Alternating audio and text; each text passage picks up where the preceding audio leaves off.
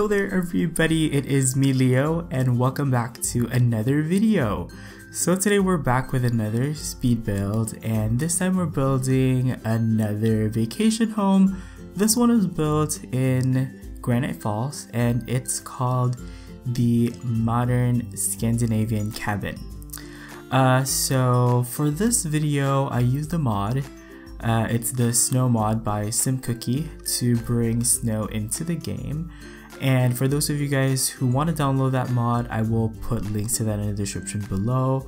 Also, I will be uploading two versions of this build on the gallery simply because a lot of people seem to have trouble finding my mod uploads on the gallery so just to make it easier for everybody I'm gonna upload the snowy version, which is the modded version of this build, and also the CC free version, which is normally what I do every time I build using mods anyway. So all of that will be in the description below for you guys, okay? Um, so for this build, I wanted to recreate kind of like this year-round vacation home inspired by contemporary Scandinavian architecture. I almost called this build the contemporary Scandinavian cabin, but unfortunately I couldn't fit all of it in the upload, so I just settled for modern Scandinavian cabin instead because I felt like that was just as good anyway. But for this build, I really wanted to have that stereotypical kind of like contemporary barn look with that iconic blackened wood exterior and also that really trendy um, contemporary Scandinavian interior as well. Uh, so we're going to be seeing more of that later on. But for the exterior, I kept it really simple. I focused a lot of my attention on the shape and the silhouette of the build. Um, contemporary Scandinavian architecture, it's all about the mass. Um, so this one is only one mass, um, and um, in front it has a steeply pitched gable roof in the back, you guys will see later on, it's got a half um, hip roof. And then um, for the roof, I wanted it to extend all the way to the wall because that's kind of like pretty typical of these trendy contemporary Nordic lake houses. Um, I couldn't find a material that matched the roof and the wall, but I tried my best to make it look like it was matchy matchy, so I think it, it still worked out in the end.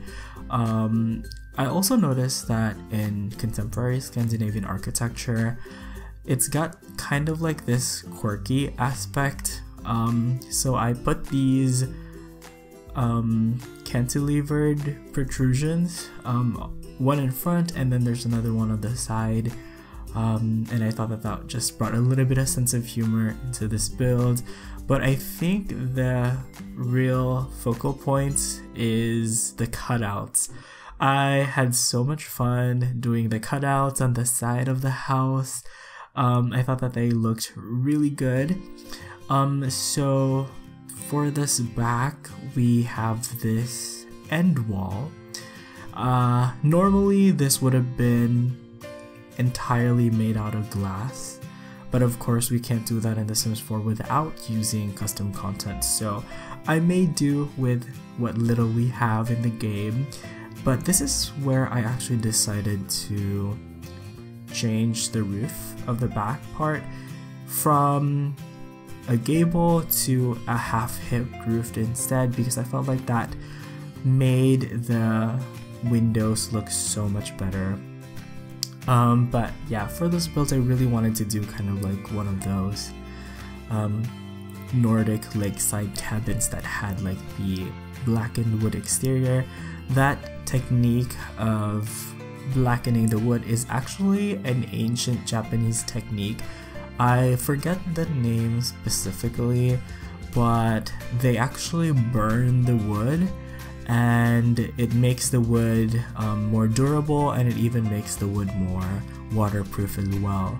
Um, so there is a purpose to why there's so many contemporary and modern trendy homes that have that wood exterior because who knew it actually has um, more than just an aesthetic purpose but right now we're already working on the inside and um, the shape of the house itself is pretty straightforward it's just a rectangle but for the inside it's a lot of um, open floor plans um, I noticed that a lot of Scandinavians, I'm not sure if this is typical, but Scandinavian people are very much um, outdoorsy people.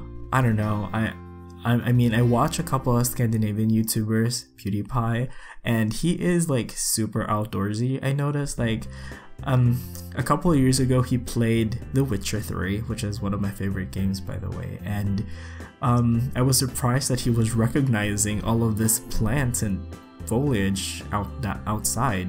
So I was like, wow, I guess Scandinavians are pretty outdoorsy, um, which it makes sense because, um, you know, I believe that Scandinavians are masters of this really trendy um, indoor outdoor living because so many of their homes have these really big windows um, and sometimes you can really tell which is the inside and which is the outside which is um, quite interesting.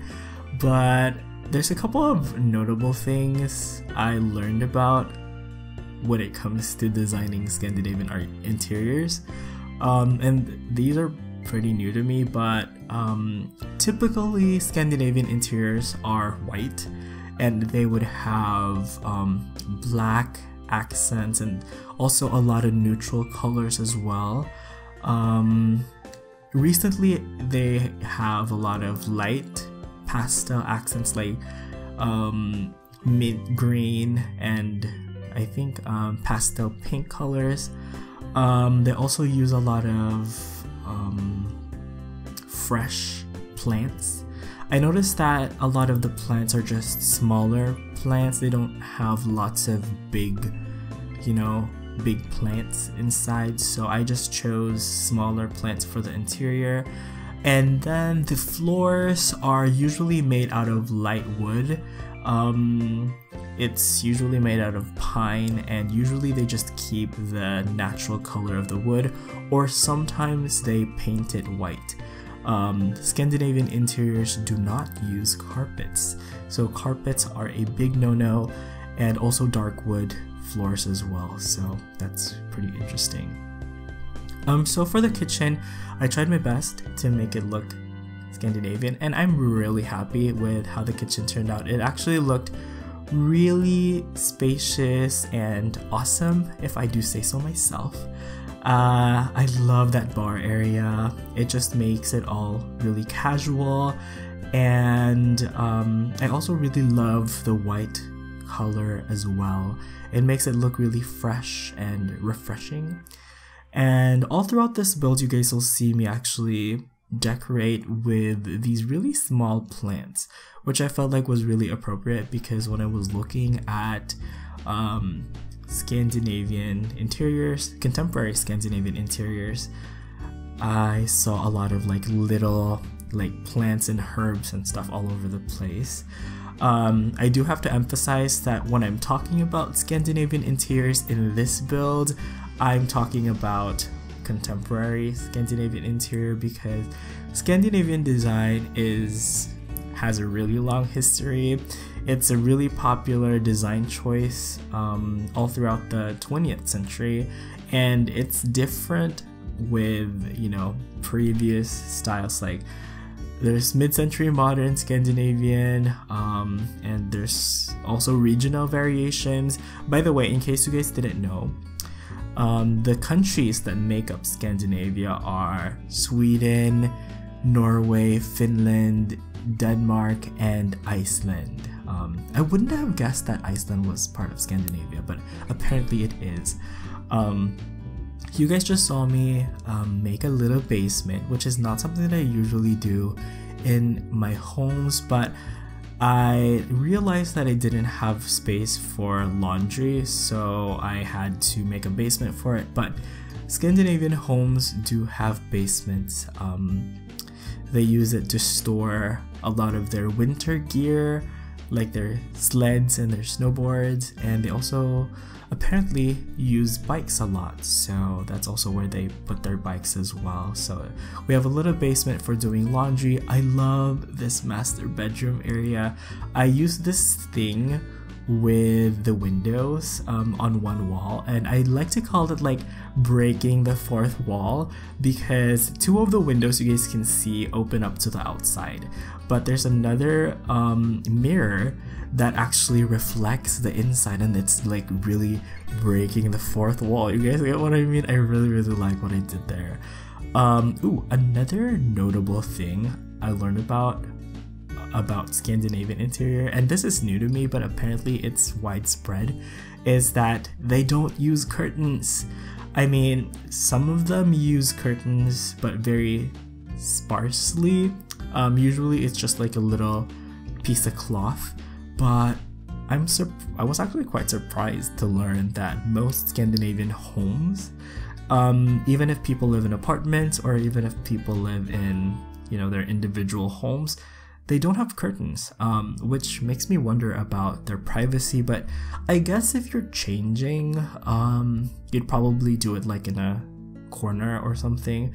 And I guess when you really need privacy is the only time you're gonna need privacy is in the bathroom. And I guess nobody would really have like really big windows in their bathrooms anyway. That's just my assumption. But wow, that's that's new to me actually. I was reading up on um, contemporary Scandinavian interiors so that I would have something meaningful to teach you guys in this build. And I was like, what? They don't use curtains? Um, but it makes sense. I apologize for the traffic um, outside. Um, as per usual, I have to do that in every video. Um, for some reason, people feel like the street outside is for drag racing. I don't know why.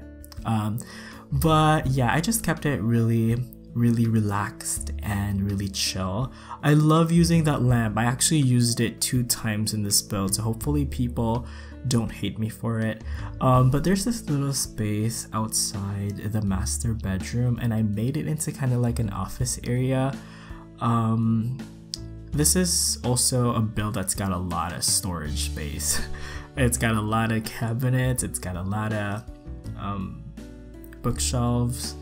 Um, and apparently, the Scandinavians um, made an art out of you know their storage spaces. So that's that. Scandinavian interiors typically don't have a lot of clutter, so I did try to tone it down a little bit here, um, but there's still quite a bit of clutter going on. One thing that I kind of had an epiphany in my recent builds is that I realized how much I actually really like these bare walls. Um, I really like the look of these like naked white walls. Um, I never knew that because in my older builds, uh, it would always bother me um, empty walls that didn't have anything in them. Um, but recently, I have been loving just the look of the walls, and I think a lot of it has to do with just the lighting. Um, I, I, I just I just really like them. So there's not many artworks in this build. I think most of the artworks I used are once again that modern abstract painting that came with pets. I really really love that painting. I'm so happy. Also, there's clocks in this build. Yay! There's this one modern clock that I used um, on the dining room, and I think that's the first time I'm using that one. But yeah, that one also looked really good. I'm really happy that I was able to use that.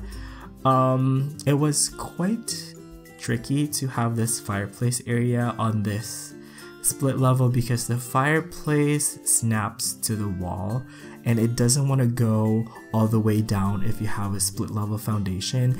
So what I did to hide like the floating area is actually put just rocks in underneath the fireplace and that's kind of like a nod to Frank Lloyd Wright's Falling Water um, just one of my favorite buildings I always talk about it in my builds but I really like that little feature um, and yeah most of the furniture is just white and beige and um, neutral colors and a lot of like really little herbs and fresh plants all over the place.